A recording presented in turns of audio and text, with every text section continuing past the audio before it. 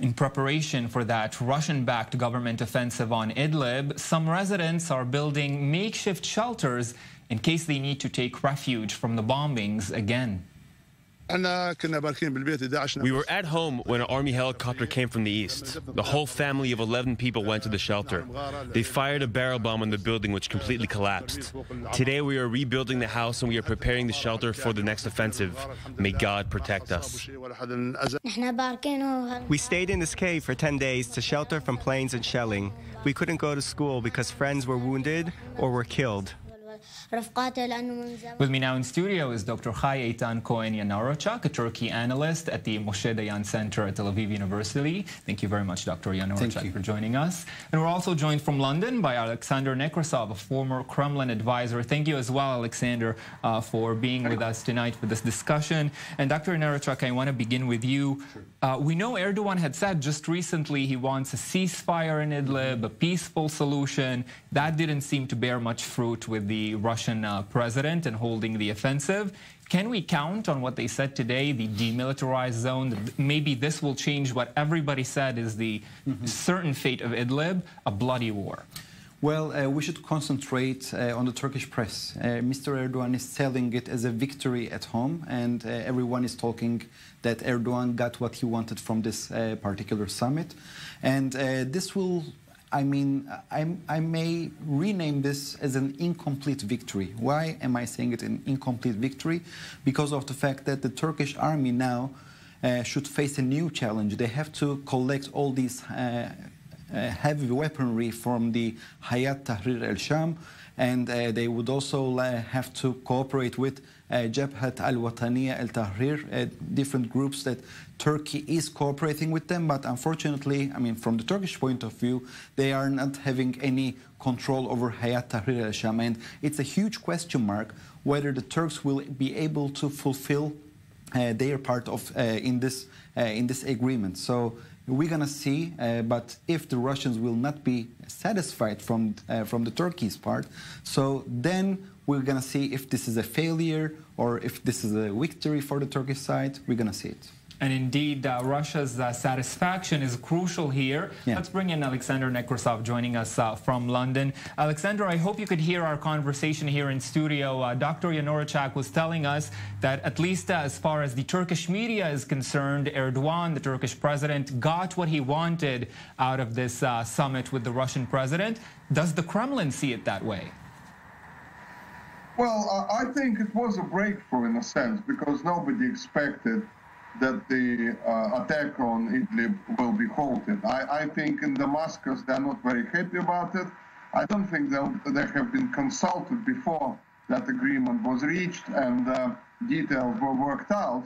But that's how it is. Turkey and Russia are now the main players in this particular operation.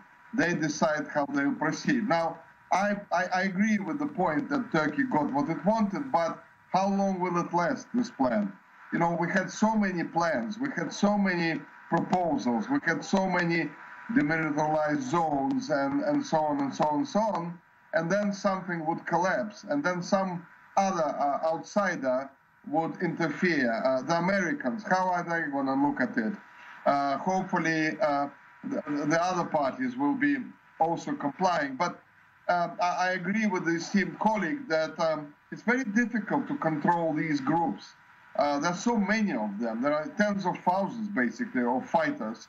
And what if one of these groups decides to break the agreement? And uh, I think Turkey actually has a very, very uh, complicated role there, but the Russians as well. Uh, I mean, it remains to be seen whether this holds. And speaking of Turkey's uh, complicated role in Syria, Dr. Yanarocak, we know uh, it has uh, Turkey that is some very different interests in Syria than uh, Russia does. Can they be reconciled? Can these two powers really work together and bring an end to the Russia, conflict in Russia and Turkey? Yes. Well, uh, it's a good question. If Turkey uh, can persuade uh, the Russians that Afrin canton and Jarablus canton will be recognized as Turkey's uh, influence zones, and nowadays Turkey is trying to add Idlib as an additional third province, a third Turkish province inside inside the Syrian territory. So we may we may say yes, but again, uh, we should see if Turks will be able to fulfill their part in this uh, agreement. And according to the results, uh, we may uh, rethink whether Turks will be able to persuade the Russians or not.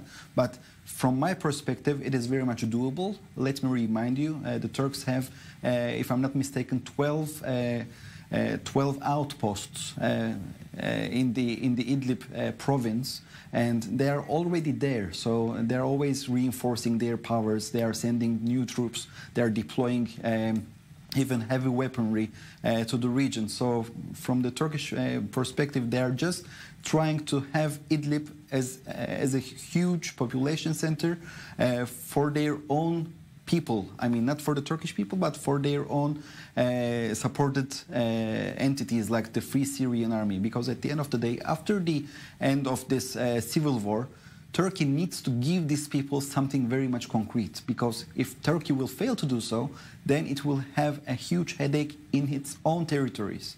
So now Turkey is trying to organize and arrange uh, a new second Syria inside Syria, which will be very much loyal to it. And when we are looking at Afrin and Jarablus cantons, we can say that uh, these two cantons are already uh, integrated into the Turkish economy. Uh, the Turkish uh, health ministry, education ministry, uh, are uh, working there. They established um, hospitals, they established schools, police fighters, firefighters all the equipments, all the food, all the electricity, all the bank system, they are very much integrated uh, into uh, the Turkish uh, economy. And also Turkey nowadays are building highways inside these uh, provinces in order to have more access and in order to integrate these provinces into the Turkish economy. So Turks, as far as I understand, are uh, they are here to stay.